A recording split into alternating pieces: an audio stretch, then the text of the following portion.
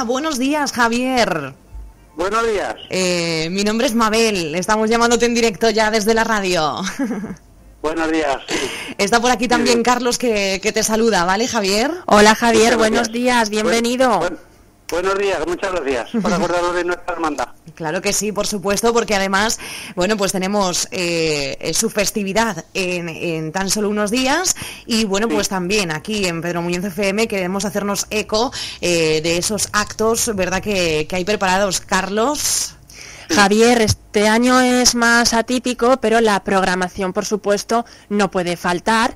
Y te llamamos hoy porque mañana ya comienzan los actos con el triduo, ¿verdad? Efectivamente, de miércoles, miércoles al viernes, eh, a las 8 tendremos el, el rezo del Santo Rosario y a continuación el triduo con la celebración de la Santa Misa. Luego el sábado, 18 de julio a las 20.30, misas vísperas y el domingo 19 de julio, misa solemne. Y queremos hacer una, quiero, quiero hacer un agradecimiento al pueblo de, de Pedro Muñoz, que todos los años ha colaborado con nosotros perfectamente y a siete matrimonios que este año han salido de la hermandad porque ya llevaban bastantes años y hemos hecho hemos encontrado un nuevo por lo cual este año estamos siete matrimonios y, y claro yo ya llevo nueve años en los años 80 tuve otros nueve años, que lo sabe bien.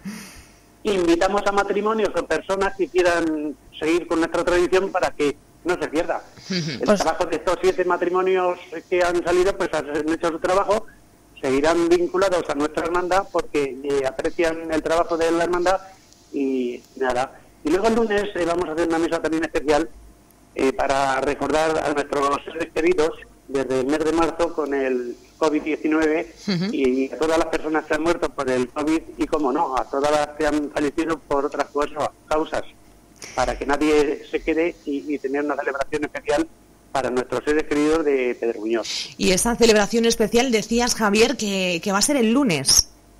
El lunes 20, sí, eh, con tantas cosas y nervios del COVID y esto, pues eh, siempre lo solemos poner en el, en el programa, que hemos hecho como 15 programas para ponerlos en los sitios más céntricos y luego Sí. ya también por el Facebook pues, se ha puesto para que la, la gente se entere.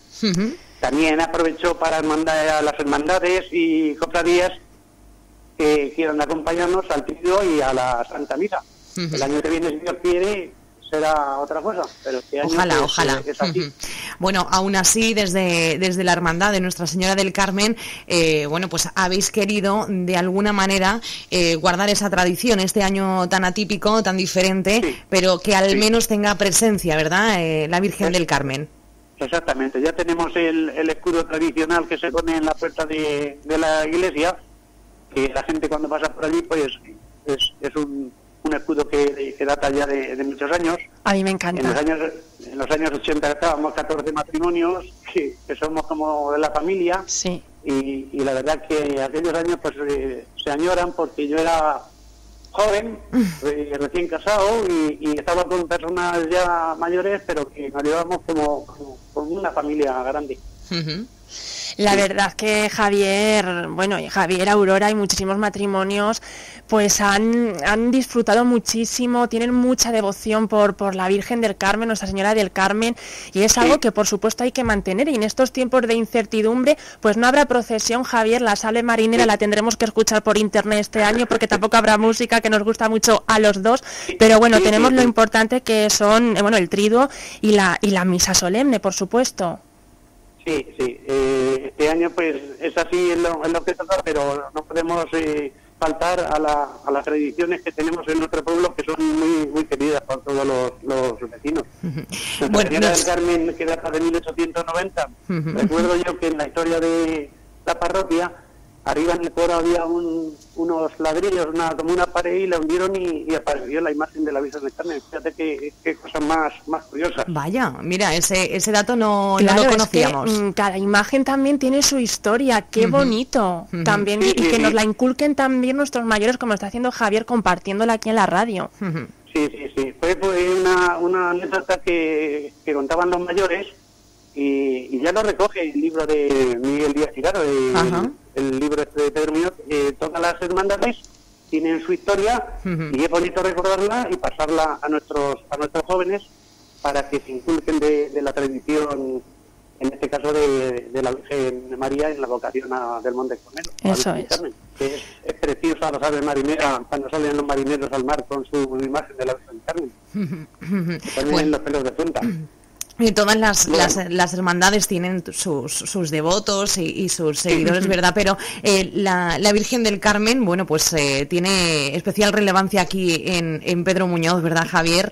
y, y también se agradece, ¿verdad? Sí, eh, tuvimos una reunión, como le indico, con, Damián. En principio mm, había división de opiniones de montar la carroza, pero mm, sabemos sabemos que al bajar la, la imagen las, las mujeres, las señoras se ponen muy juntas unas de otras para hmm. vestirla, ponerle los pendientes. Entonces eh, hemos visto conveniente que como tiene su, su altar y si tiene su vitrina, encendemos la capilla, pondremos unas, unas flores porque no podemos hacer otra cosa, porque, mm, como decíamos, mm, la persona que, ¿qué hacemos con montar la carroza si no podemos hacer ni la procesión, ni el concierto de la banda de música, que es una tradición de todavía, pero este año toca así, el año que viene, si Dios quiere, intentaremos reforzar un poquitín la fiesta, en beneficio de todos nuestros vecinos de Pedro Muñoz. Si podemos, la haremos doble, ¿verdad, Javier?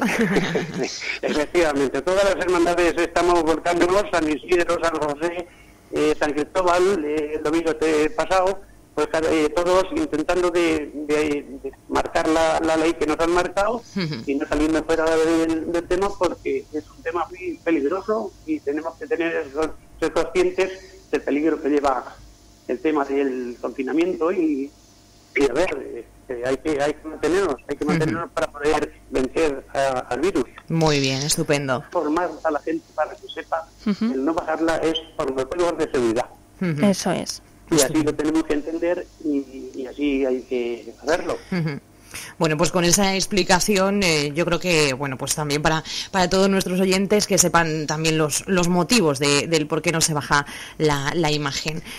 Eso es. Pues Javier, muchísimas gracias. No sé si quieres comentar algo más. Desde aquí os damos las gracias a todos los matrimonios que hacéis posible que la fiesta y la tradición continúe y que nos inculcáis a, los jóvenes también, eh, bueno, pues esas, esos puntos de historia que también has trasladado hoy en Pedro Muñoz FM. Recordamos que mañana... Quiero, daros quiero dar las gracias a Radio eh, a los dos porque hacéis un trabajo extraordinario en beneficio e información a, nuestro pueblo. Y ya digo que matrimonios o personas individuales que ya creo que podemos hacerlo, pues están invitados a, colaborar con la hermandad porque pasamos a todos muy buenos, se crea como una familia y es bonito que sigamos con, la tradición. Claro que y sí. así espero de que actualmente somos siete matrimonios, pero que cogen más. Los que quieran, que hablen con alguno de la hermandad y serán muy bien recibidos. Claro que sí. Pues Javier, eh, nosotros desde aquí te, agradecemos que, hayas estado con nosotros, que hayas atendido nuestra llamada tan gustosamente y, bueno, pues eh, que, todo esto acabe pronto, Javier, y, que el año que viene eh, podamos disfrutar de, otra manera de, esta festividad. Muchísimas gracias. gracias a todos. Gracias. Gracias, Javier.